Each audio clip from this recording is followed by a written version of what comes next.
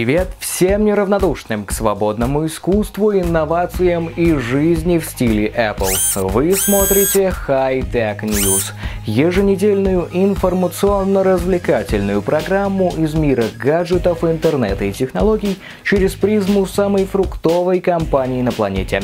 Ну что ж, меня зовут Сергей и сегодня в выпуске.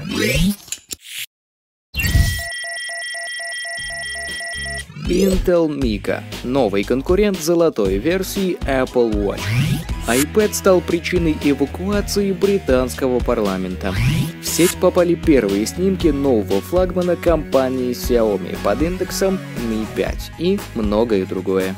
Ну а далее в программе расскажу о том, как превратить свой iPhone или iPad в Ultimate девайс для чтения книг, а также поделюсь впечатлениями от мобильного воплощения Dota в лице игры Wayne Glory и переосмысленного почтового клиента Inbox. Но, пожалуй, на сладкое на этот раз оставлю обзор долгожданного Android 5.0 Lollipop.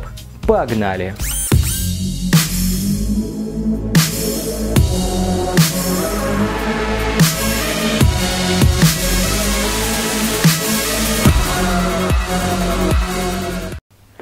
Слову, не успели Apple Watch поступить в продажу, как на горизонте уже замаячили конкуренты.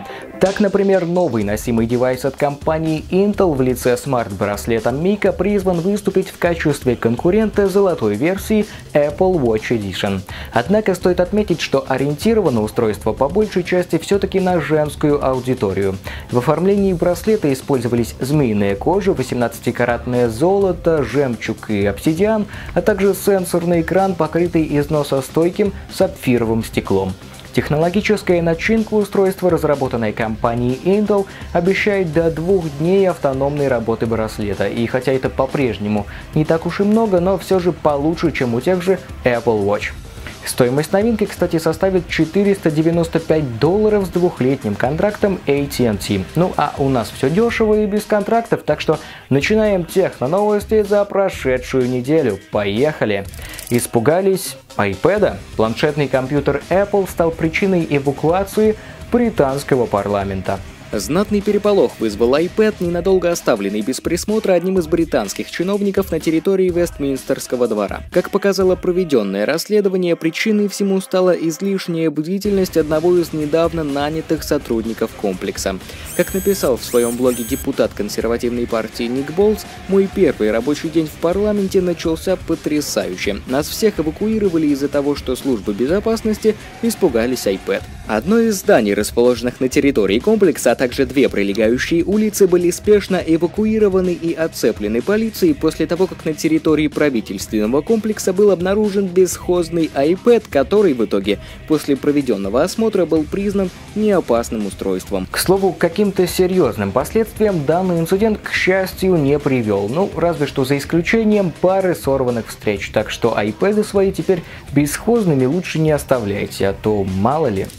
Безрамочный смартфон китайской Apple засветился на шпионских снимках. В распоряжении издания Phone Arena попали фотографии нового смартфона Xiaomi, который вполне может оказаться ожидаемым флагманом Mi 5. Дизайн устройства в целом напоминает предыдущее поколение, однако на этот раз главной фишкой стали рамки по краям дисплея, заметно потерявшие в размерах и отныне едва различимые на экране. Судя по фотографиям еще не анонсированного устройства, гаджет получит 5-дюймовый дисплей и лишится сенсорных клавиш управления в пользу экранных кнопок. Под капотом смартфона смартфона, скорее всего, будет находиться процессор Qualcomm Snapdragon 805 и 3 гигабайта оперативной памяти. Ну и, само собой разумеющаяся особенность флагманов этого года — дисплей с разрешением 2560 на 1440 пикселей. Ну а новостях на этом все, так что едем дальше.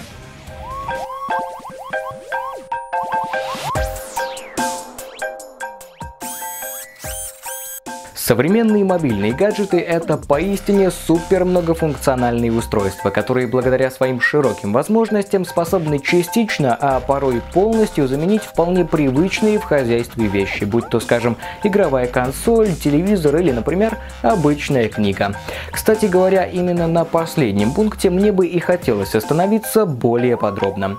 Уж не знаю, с чем конкретно это связано, но скачивание книг на мобильные iOS-девайсы сегодня остается большим большой проблемой для многих пользователей яблочных устройств, хотя, казалось бы, ну куда уж проще.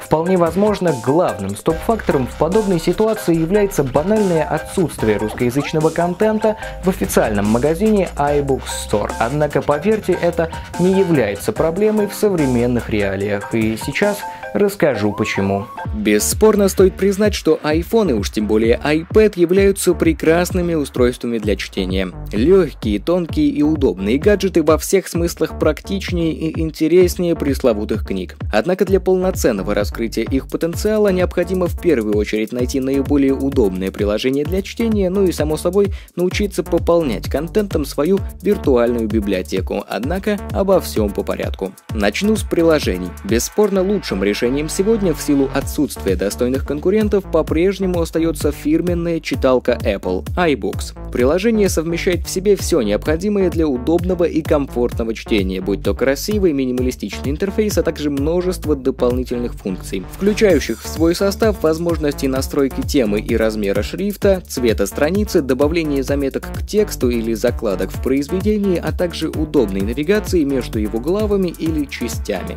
Ну а теперь о том, как скачать скачивать книги на свои iOS-устройства. Пускай нынешний iBook Store язык едва ли поворачивается назвать нормальным источником, но все же это далеко не единственная библиотека в современном интернете. Все, что от вас потребуется для скачивания книг, это лишь вбить название интересующего произведения в поиск и совершенно бесплатно скачать его с любого доступного сайта в формате EPUB. Например, на Флейбусте данный алгоритм выглядит примерно так. Находим книгу, выбираем нужный формат из списка доступных и после недолгого скачивания нажимаем «Открыть в iBooks». Все, книга добавлена в вашу библиотеку, можно спокойно приступать к чтению.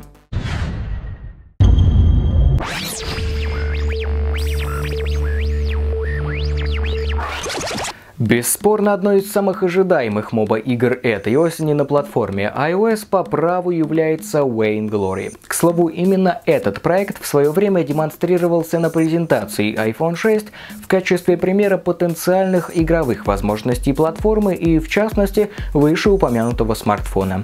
Бесспорно, столь мощная пиар-поддержка сыграла на руку разработчикам, но вот решить, стоит ли игра свеч и уделенного ей внимания, разберемся прямо сейчас.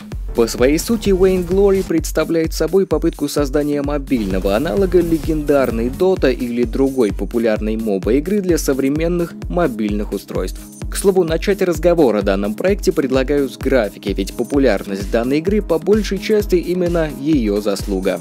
Стоит признать, что внешне Wayne Glory исполнена поистине здорово. Глаз игрока порадует красивый детализированный мир, изобилие симпатичных эффектов и проработанные модели персонажей. Все это здесь отполировано настолько здорово, что порой просто сомневаешься, а действительно ли в твоих руках находится мобильный гаджет. Стоит упомянуть и о том, что особые красоты игрового мира открываются и у стратегически важных точек на карте, когда герой уходит с основной тропы, пробираясь в самые скрытые закоулки и между тем любуюсь огромным количеством объектов тут и там разбросанных по локации. Очевидно, что по части графики разработчики справились действительно на ура, и хотя в дрожь от увиденного, конечно, не бросает, но осознание всего происходящего на вашем мобильном гаджете определенно внушает уважение к проделанной работе.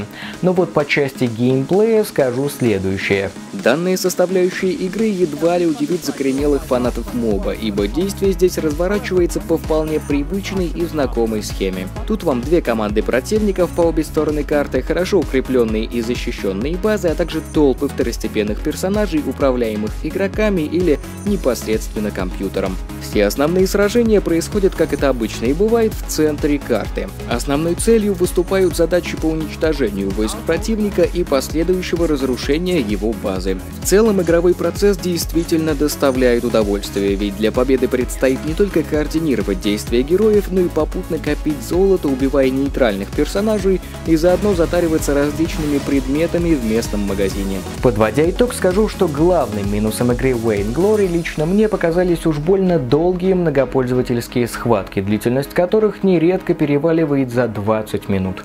В остальном же игра является вполне перспективным проектом, который при должной поддержки со стороны разработчиков вполне сможет составить добротную конкуренцию нынешним Heroes of Order and Chaos и Fates Forever, а то и вовсе станет лучшим моба-проектом на мобильных платформах. В App Store игра распространяется абсолютно бесплатно, так что рекомендую ее к установке всем фанатам жанра. Да и в принципе не только. Для большинства современных людей электронная почта является бесспорно очень важным рабочим инструментом, который при всем при этом, по сути-то не так уж и сильно эволюционировал в плане удобства использования еще с момента своего появления. Обыкновенная лента с кучей непрочитанных писем, которые как снег на голову каждый день сваливаются в ящик, это то, с чем сегодня сталкивается ну едва ли не каждый пользователь. В общем, как ни крути, а на мой взгляд уж пришло время что-то поменять, и одно классное приложение, о котором пойдет речь в сегодняшнем обзоре, позволит с легкостью это сделать. Встречайте Inbox от Google. По своей сути, данное приложение представляет собой мультиплатформенный почтовый клиент для смартфонов на iOS и Android, выполненный в виде своеобразного туду-планировщика. Правды ради стоит сказать, что Inbox стал не первым опытом реализации подобной идеи, однако именно компания Google смогла преподнести ее пользователям в наиболее удобном и правильном ключе, к которому, как ни крути, но все же придется привыкнуть. Начнем с того, что лента в привычном понимании этого слова в приложении попросту отсутствует. Отныне это группы четко рассортированных писем по отдельным временным промежуткам, начиная с последних пары дней и заканчивая прошлым месяцем. Список всех писем в каждой отдельной группе распределен по отдельным категориям, будь то промо-акции или социальные сети, что позволяет в более быстром формате ориентироваться между входящими и прочитанными сообщениями. Ну и, пожалуй, главная фишка клиента — поддержка различных жестов. Например, свайпом вправо помечаем сообщение как прочитанные, ведем по экрану влево и добавляем период отсрочки. Удобно? По мне, да. Слову, все входящие сообщения приложение распределяет по группам изначально в него добавленным, однако если вам вдруг нужна своя категория писем, то добавить ее не составит никакого труда. В остальном функции приложения Inbox сходны с другими почтовыми клиентами, но вот что все-таки хочется отметить отдельно, это дизайн. Приложение выполнено в стиле Material Design, который сегодня является визитной карточкой Android 5.0 и, как ни странно, прекрасно смотрится на устройствах конкурирующей платформы. Скачать данный почтовый клиент можно в магазинах Google Play и App Store совершенно бесплатно, однако для доступа к его функциям пока требуется специальное приглашение, найти которое можно на просторах интернета. Вопрос, с которым компания Google лицом к лицу столкнулась пару лет назад, заключался в следующем. Можно ли создать систему с красивым дизайном до того, как Apple сумеет развить направление своих интернет-сервисов? Это, безусловно, очень важно, ведь данные параметры определяют наше цифровое будущее.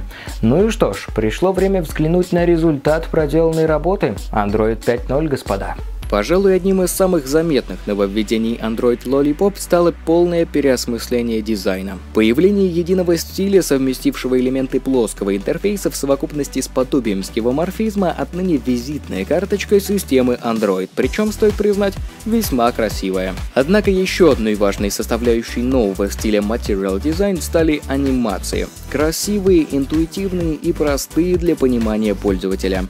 Изменилось здесь без малого все, начиная с клавиатуры или дизайна иконок и заканчивая меню приложений. Теперь оно напоминает папку, в которой стройными рядами на белой подложке расположились иконки приложений. Они, кстати, по-прежнему общего стиля не имеют. Квадратные, круглые, большие, маленькие, в общем, все как всегда. Само собой, нельзя не уделить внимания и новым органам управления системой. Любоваться теперь будем на простейшие треугольник, кружок и квадрат. Но не дизайном единым. Говоря о новых функциях леденца, стоит упомянуть и о появлении интерактивных уведомлений на экране блокировки а-ля iOS, правда с несколько более широкой функциональностью, а также продвинутые шторки, отныне совмещенные с панелью быстрых настроек. Однако спорной показалась многозадачность. Выполненная в виде отдельных карточек, совмещенных с вкладками Google Chrome, она порой превращается в кашу из запущенных приложений и страниц браузера, хотя, возможно, стоит просто подольше с ней поработать